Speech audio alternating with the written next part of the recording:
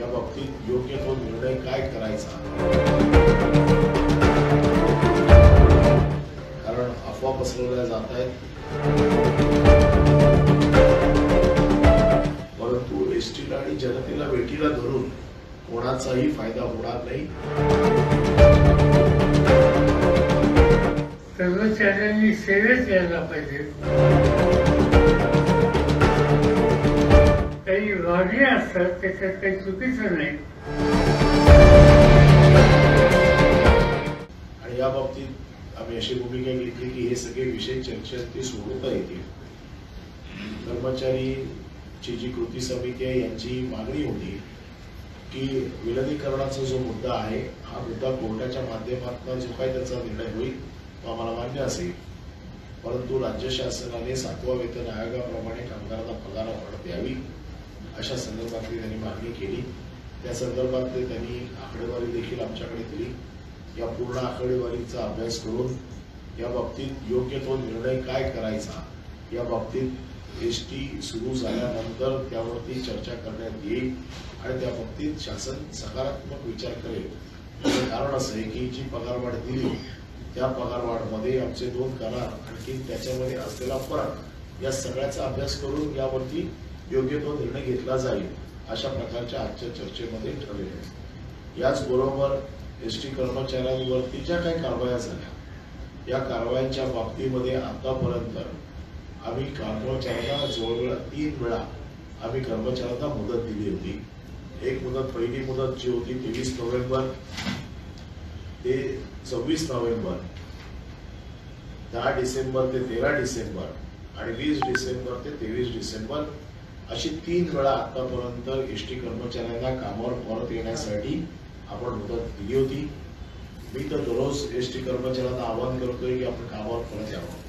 परंतु ही तीन वेळा मदत दिली त्या तीन वेळा मदतीमध्ये आम्ही असं सांगितलं होतं की जे कर्मचारी कामावरती परत येतील त्यांच्यावरती कुठल्याही प्रकारची कारवाई आम्ही करणार नाही. या कर्मचाऱ्यांच्या कारवाईच्या बाबतीमध्ये आम्ही अतिशय जो निर्णय घेतलाय जो आज कर्मचाऱ्यांच्या या कृती समितीमुळे झालाय की ज्या एसटीच्या कर्मचाऱ्यांवरती कुठलीही कारवाई आतापर्यंत झालेली नाही. अशा कर्मचारी कामावर आल्यावरती त्यांच्यावर कुठलीही कारवाई होणार नाही. कारण अफवा पसरवल्या जात आहेत. असं सांगितलं जात आहे की जे कर्मचारी कामावर जातील त्यांच्यावरती कारवाई होईल त्याला चार्जशीट दिली जाईल त्याला सस्पेंड केलं जाईल. आणि म्हणून भीतीच्या भीती निर्माण करून कामगारांना कामावर जाण्यासाठी प्रवृत्त केलं जाईल. एस टी पूर्णपणे सुरू झाल्यानंतर निलंबित कर्मचारी प्रतर्फ कर्मचारी रोजंदारीचे कर्मचारी यांच्या कर- यांच्या बाबतीमधला निर्णय काय करायचा हा आम्ही चर्चा होती त्याच्यावरती योग्य तो विचार करू त्याच्यावरती अंतिम निर्णय घेऊ. आज जे मुद्दे आज कृती समितीच्या वतीने मांडण्यात आली त्यामध्ये पगारवाढीमध्ये तफावत असेल सातवा वेतन आयोग असेल किंवा केलेल्या कारवाया असतील या सगळ्याच्या बाबतीमध्ये आम्ही योग्य तो विचार करून या सगळ्या गोष्टींचा निर्णय सकारात्मक करू असं त्यांना सांगितलेलं आहे. परंतु जसं कर्मचाऱ्यांच्या बाबतीत आमचं दायित्व आहे तसंच आमचं महाराष्ट्रातील जनतेच्या बाबतीत देखील दायित्व आहे.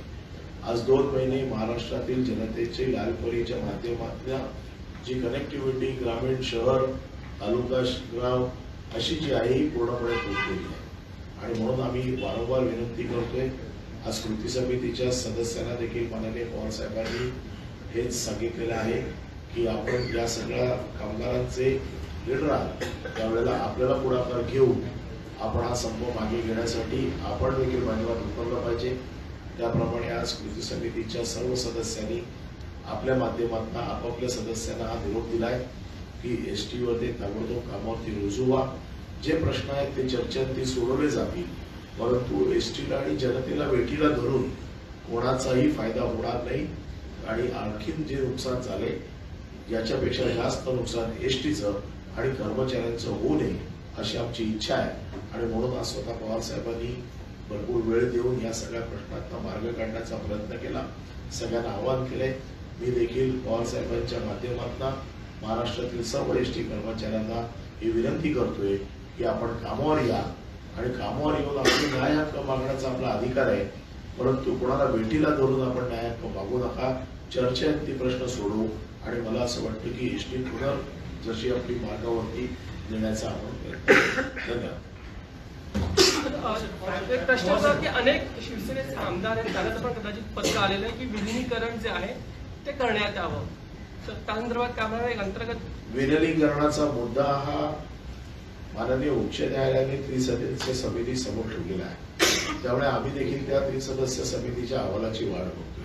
आणि एखादा मुद्दा न्यायालयात असताना त्यावरती बाहेर भाष्य करणं हे आमच्यासाठी देखील बंधनकारक आहे. तसंच दुसऱ्या बाकीच्या लोकांवरती देखील तसंच ते बंधनकारक आहे. तो प्रवासी अत्यंत महत्त्वाचा घटक आहे. गेले दोन महिने या संपाच्यामुळं प्रवाशांची जी स्थिती झाली त्याच्याबद्दलचं वर्णन न केलेलं बरं एकंदर दुसरं एक संकट आता सगळ्या देशात महाराष्ट्रावर आलं आणि ते म्हणजे, म्हणजे या करोनाचा हा नवा अवतार आपण गेले काही दिवस. होतो या सगळ्या गोष्टीचा परिणाम महाराष्ट्र राज्याच्या अर्थकारणावर विपरीत होतोय. आणि असा परिणाम होत असतानाही राज्य सरकारला त्याची मोठी किंमत देण्याची आर्थिक किंमत देण्याची स्थिती असताना सुद्धा माझ्या मते पर्यटन खात्याचे मंत्री आणि त्यांच्या अधिकाऱ्यांनी जेवढं जास्त करता येईल तेवढा कर्जाच्या बद्दलचा प्रयत्न केला. आणि तो प्रयत्न या ठिकाणी त्यांनी कृषी समितीच्या लोकांच्या समोर वाढल्याच्यानंतर कृषी समितीच्या सदस्यांचेही काही प्रश्न आहेत. जे सरकारच्या निर्णयामध्ये काही कमतरता आहे काही अनावधिक आहेत हे कृषी समितीने या ठिकाणी नजरेला आणून दिल्यानं त्याही बाबतीत एक सकारात्मक निर्णय घेण्याची तयारी वंचित महोदयांनी या ठिकाणी दिली आणि मात्र ही तयारी करत असताना त्यांनी ही गोष्ट स्वच्छ केली की एस टी चालू झाली पाहिजे. कर्मचाऱ्यांनी सेवेत यायला पाहिजे. या प- तुमच्या मनातल्या ज्या शंका आहेत. तुमच्या त्या कार्यवाहीच्या असतील आणि वेतनाच्या अनुवादीच्या असतील किंवा आणखीन काय असतील त्याच्याबद्दल आपण पॉझिटिव्ह अप्रोच घेऊन बसून याचा मार्ग काढू शकू.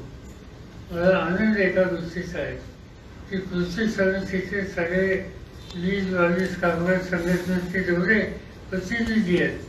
त्या सगळ्यांना कामगारांच्या हिताच्या बद्दलचा जसा त्यांचा आग्रह आहे. आणि तो जास्त आहे. पण त्याबरोबर प्रवाशांचं हित आणि एस टी टिकली पाहिजे याहीबद्दल कामगार संघटनेच्या सगळ्या लोकांचा आग्रह आहे. त्यामुळे त्यांचाही एकंदर दृष्टिकोन हा सकारात्मक आहे. त्या सकारात्मक दृष्टिकोनातून त्यांनी आव्हान आज महाराष्ट्राच्या एस सी कर्मचाऱ्यांना केलेलं आहे. माझा विनंती आहे या सगळ्या कर्मचाऱ्यांना की शेवटी आपली बांधिलकी प्रवाशांची आहे. आणि ती प्रवाशांची बांधिलकी लक्षामध्ये घेऊन आपल्या सहकार्याने जे आव्हान आपल्याला केलं राज्य सरकारच्या वतीनं मान्य मंत्री महोदयांनी जी सकारात्मक भूमिका घेतली याचा गांभीर्याने विचार करावा आणि एकंदरीत ही एस टी पूर्ववत कशी चालू जाईल याची काळजी घ्यावी एवढंच मला सुचलं फक्त माझ्या माहितीप्रमाणे सुरुवातीपासून हाच दृष्टिकोन होता पॉईंट असा आहे की पहिल्यांदा मी हे असं बघितलं की कामगार संघटना जे त्या संघटना त्यांचे सगळे सहकारी वर्षोनवर्ष एखाद्या संघटनेच्या कामगारांच्या हिताची जपून करण्याच्यासाठी वेळ देतात संघर्ष करतात. त्यांचं आम्ही ऐकणारच नाही असं काही लोकांनी भूमिका घेतली. त्या भूमिकेच्या संदर्भात कामगारांच्या मनामध्ये बहुतेक संभ्रम झाला असावा.